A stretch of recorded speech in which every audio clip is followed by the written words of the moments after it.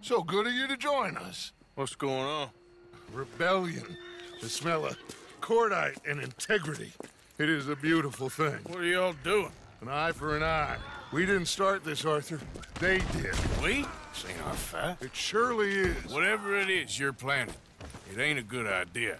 They want you to fight. Nobody will be killed. We're just gonna trap a few of them in the valley, disarm them, tar and feather them, and remind them to leave these boys alone. You have energy for pranks? Come on, Arthur.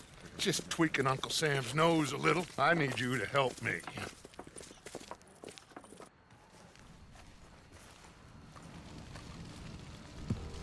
Besides, it's perfect. People will see.